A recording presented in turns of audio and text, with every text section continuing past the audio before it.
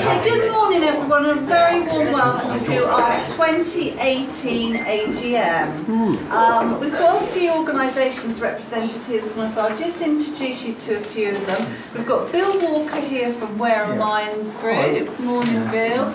Uh, Councillor Peter Wolf. Morning Peter.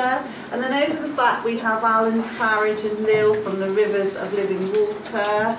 And we've got Pam and Alison from Livability at Lee. And The main events that generated income for the Pop In Place last year were the Easter morning, which raised 193.77, the village quiz, which raised £98.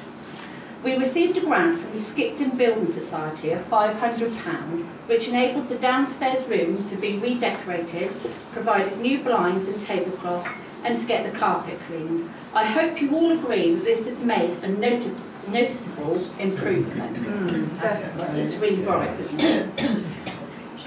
During the course of the year, we supported the following good causes and thanks must go to the regular attendees of the special cafes who enabled us to donate the following. Macmillan Coffee Morning raised £255.39.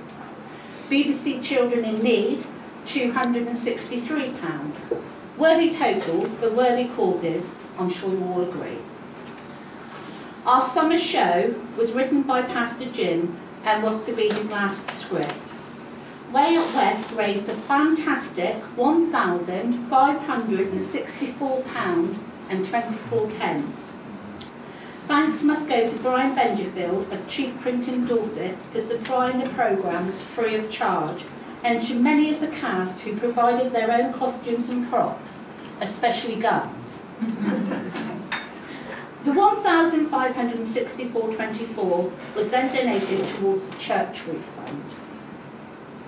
A donation of £1,000 was sent to Dorset County Hospital Cardiac Fund in memory of Pastor Jim so they could install a music system in their unit on behalf of the. The Love was the Christmas production and focused on our community and friendships. Once again, supported the, the village, of course, supported the production by buying tickets for the show and the obligatory raffle, which enabled us to donate £548.04 to the firefighters charity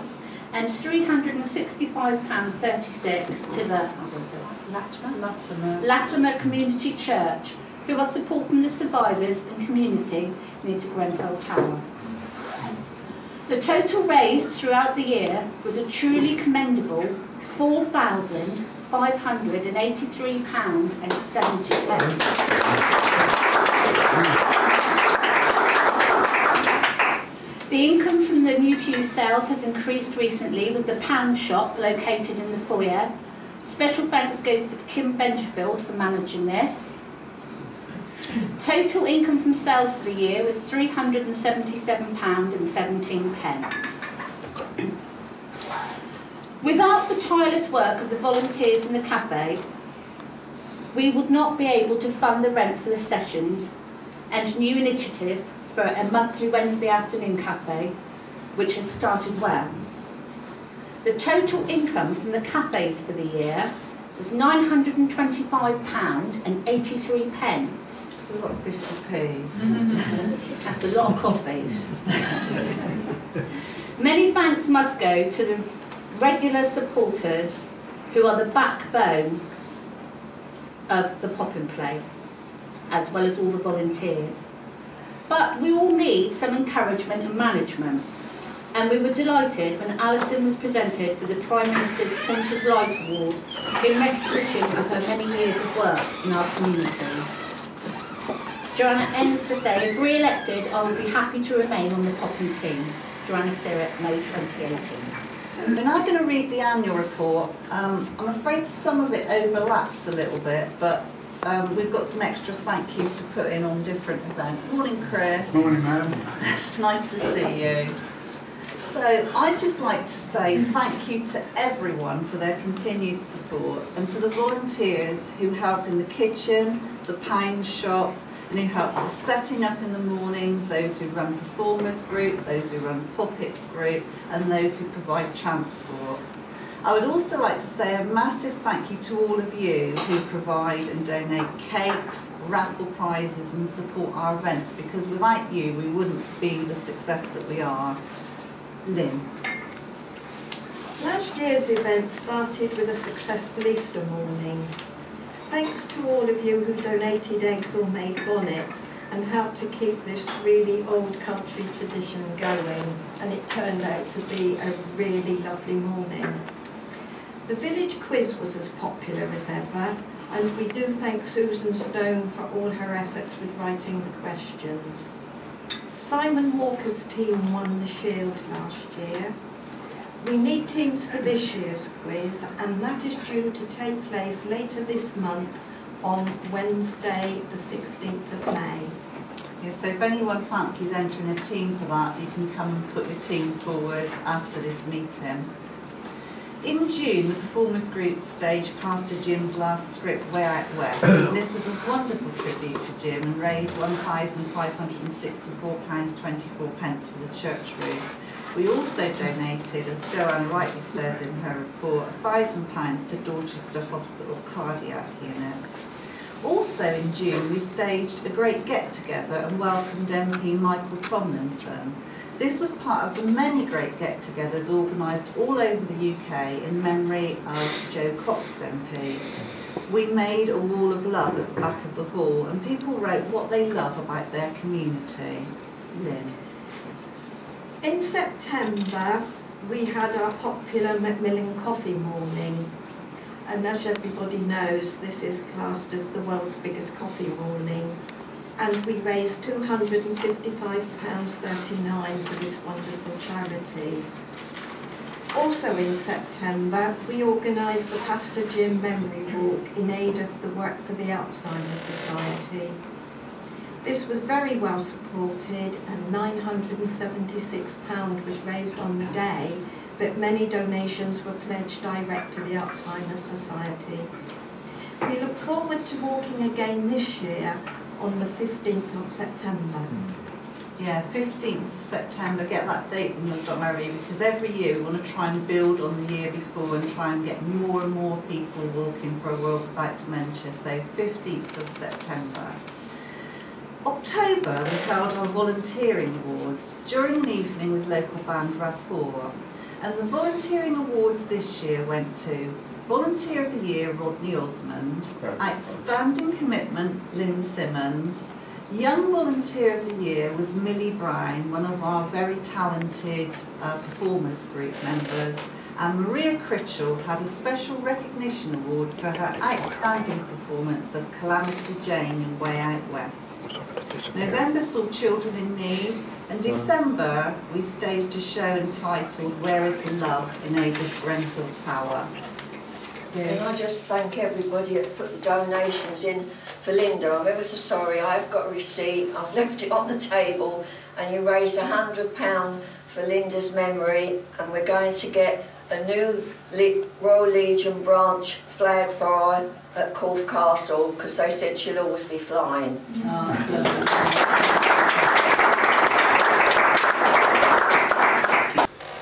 Good morning. Uh, my wife Sarah and I moved to Bere Regis just uh, almost a year ago. One of the first places uh, we were introduced to was here, the pop-in place. Uh, our neighbours suggested we might enjoy the move movement to music classes, which we both enjoy very much and look forward to attending each week, uh, from group members Lynn and Andrea. And one of them says, hi, uh, I'd just like to say thank you for funding the movement to music on Monday mornings. Uh, I think I speak for all of us when I say how much we all are benefiting from it physically and for me socially. Julie is, a great, is great at getting us uh, motivated and we all leave feeling good. I hope our Monday sessions can continue. I can recommend them. We are very grateful to the committee. Uh, please keep supporting the movement to music. Thank you very much. Thank you very much. Kim Bengerfield has worked incredibly hard running the pound shop and she actually took it over and it opened up out there on January the 19th. And she's done a little add up, I think, Kim, um, of how much she's taken to date. So what, what are we running at from then, Kim? Well, since the 19th of January, when I took over, till 30th of April, we have made £237 and 85 Oh, pence. That's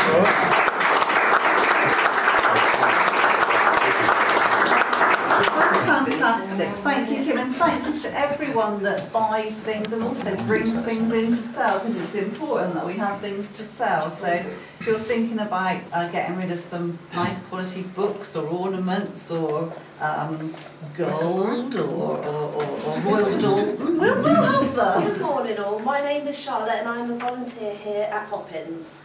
Poppin means so much to many of the residents here in Bere Regis, including myself massively. The volunteers here at Poppin show so much love and dedication to so many causes, always showing willing to help all. It is because of these great volunteers that I never felt alone in my time of need. There was always a friendly face to listen, help or advise and sometimes just some company when I needed it. So I thank you all. Now I'm a volunteer myself, hoping to give back to the people who have helped me and to be there for those who might need some too. I feel that Poppin is not just a community cafe but a family and I've been coming to Poppins now for nearly three years and I hope to continue coming for many more to come. Thank you.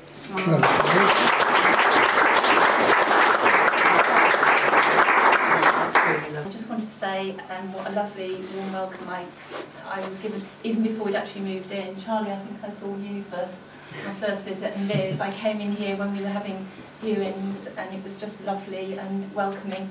Um, so that was great for me.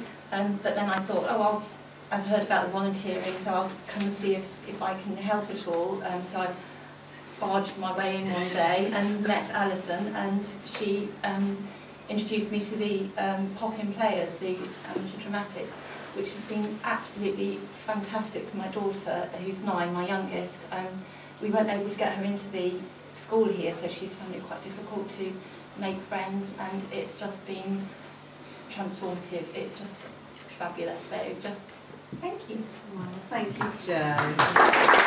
First of all, I'd like to say uh, thank you to all the people who do the driving, um, the volunteer drivers, because um, having moved to Winterbourne Kingston recently, if it wasn't for them, I wouldn't be able to get here and back and everywhere. And it means a lot to coming into pop-ins and seeing everybody, um, because uh, I don't know a huge amount of people in Winterbourne Kingston, and um, I know everybody here, so it stops me feeling quite lonely and isolated as well. Right, uh, we run uh, Poppins Family Cafe on a Thursday morning and we have recently had um, some more people popping in. Uh, we try to advertise it as you don't have to have children with you, you could become be, um, be expecting or um, if your children have started school um, and you want to just come in and socialise and talk and um, meet some other people of the same age. Uh, we think we're quite friendly. Um, sometimes it can get a little bit quiet during the winter period, but um, it generally starts picking up again as it gets warmer. Um, and uh, we welcome lots of mums to pop in, have a cup of tea, a chat. Um, we've got lots of toys for, for children to play with. Um, we enjoy doing it, and um, I'd like to say thank you to all the other people who help out as well. Um, and hopefully we can carry on doing it um, for the long run because I think it benefits um, uh, quite a lot of people in the village. Thank you so much, and thank you The preparations for our summer show are going really well. Um, the is entitled Our Last Summer and it features some well-known and popular songs from the supergroup ABBA who are making a comeback, That's because apparently. of us. Yeah, we set trends here, we set trends. um, tickets are now available. Don't miss out on this because Friday night's flying out already. Um, it really is the greatest show. Forget Hugh Jackman. Come and see our local. Um, this year we are raising money for the Southampton Immunotherapy Centre and it is a new way of treating cancer by using your own immune system. It's fantastic research. They've had some fantastic trial results. So a massive thank you to everyone who has been doing all this knitting. You'll notice that there's loads of beautiful knitting all around the room. We've actually got bags of it. Alan, I don't know if you're going to be able to take any of this today, but we're getting a bit short of room. Um, I'd like to say um, a big thank you to Dorothy Crow, who's a lady that lives in our close. She's over 90 and she said to me, um, I really would like to help. I can't knit. I don't know what to do. Can I buy some wool? Well, yeah, that would be fantastic, I said.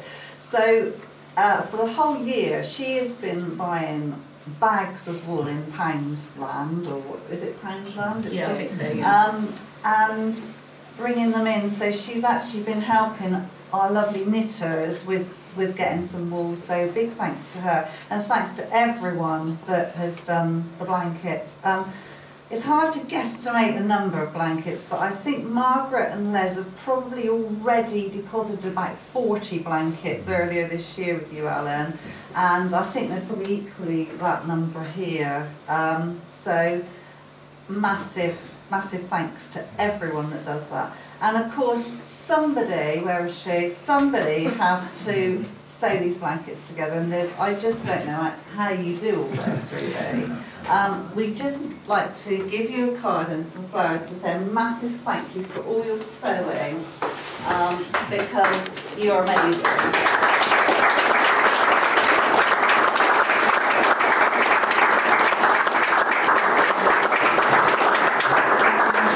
Whoopsie. Sorry, there's two bunches there. I thought you deserved two. During the last year, we have seen a lot of changes. Um, and um, after 20 years, 21 years it is, we really do miss Colin and Gwen greatly um, on our team. But it's lovely to see them both visiting our cafes on Mondays. Um, thanks must go again to Liz Gow, who sets up on a Friday morning, and to Jill Hart, who comes and does a setting up on a Monday morning. Um, and they've sort of taken up the task of doing that what Gwen did. Charlie Bates has been amazing um, this year. She's been running the rota as Gwen used to, and she makes sure that there's cover for the kitchen. Um, so grateful thanks to you, Charlie. And massive thanks to Amanda, who has been doing transport and helping at the cafes. You've put in such a lot, we really do appreciate it. On behalf of like Doris and Val, massive thanks to you. And also to you, Vicky, for doing transport. So thank you so much and for all the other things that you do. And thanks to everyone that helps out in any way. Um, so I'd like to say thank you to Lynn, who's been secretary, Joanna for all her hard work with the accounts. Between us all, we are committed to being here for people when they need us, and that is something incredibly valuable, and thank you all, so please keep up the wonderful work. Thank you. Charlie, could you turn your own round? So, I'm going to preside over the election. May I have nominations for the team leader of the Pop In Place for the forthcoming year?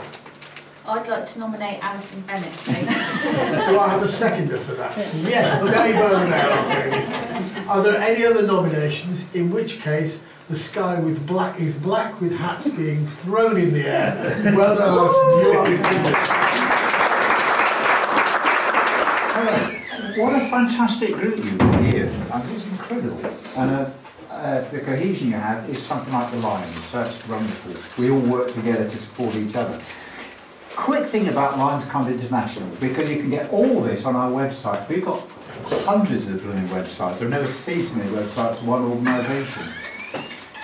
Lions is completely self-funding. That's what people all say, where do you get your money from? We actually pay to be volunteers, if that makes sense.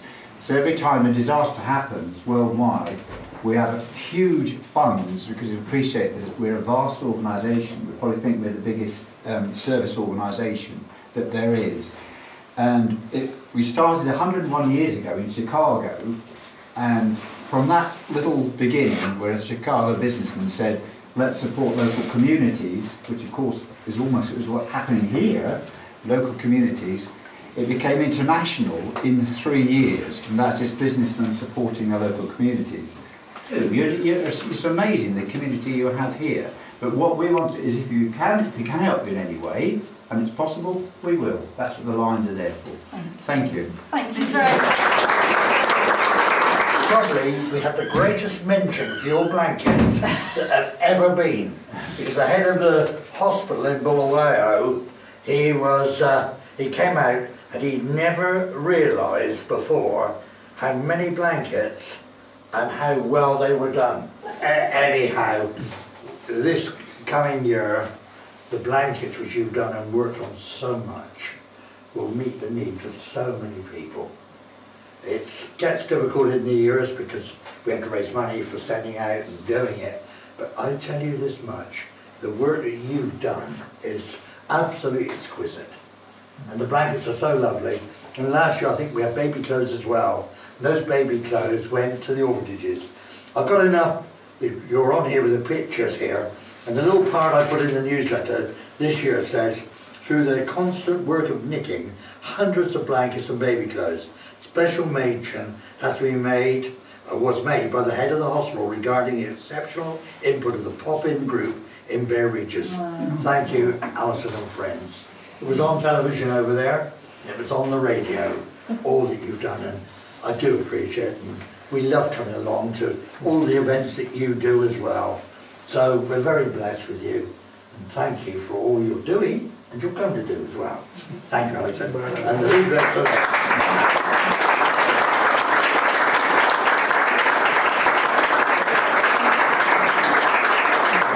just like to take this opportunity as well to say a massive thank you to you, Alan, for everything that you do for the people of Zimbabwe. You are amazing. Thank you.